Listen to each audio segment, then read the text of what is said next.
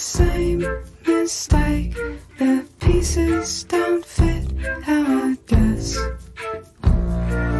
Worn so thin and caving in, frozen between.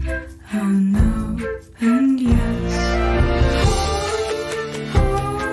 I'm sliding for some time. I'm ripping into.